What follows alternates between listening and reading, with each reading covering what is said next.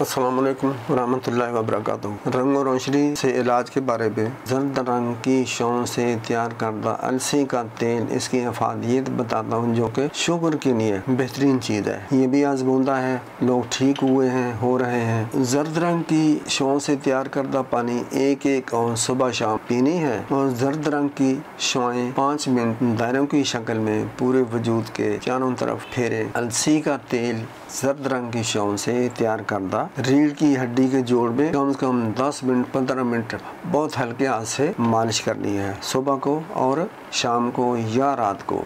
इससे बहुत ज़्यादा फ़ायदा होता है। शुगर शुगर मादूम हो जाती है ख़त्म हो जाती है। बेशक एक हफ़्ते के बाद दो हफ़्ते के बाद टेस्ट करें इन शुगर नील होगी। मुर्दों को तकवीत होगी रीढ़ की हड्डी को तकवीत होगी। आप जो जिसमानी कमज़ोरी है वीकनेस है जोहल है कह, कहली है तो वो इन दिन ब दिन कुत वाला होता जाएगा। तो उसकी सेहत ठीक होती जाएगी। अल्लाह करीम रहम करे शिफा करे। मेरा ये चैनल सब्सक्राइब करें ताकि दूसरे लोग भी इससे फ़ायदा करें। असल वरहमल वर्का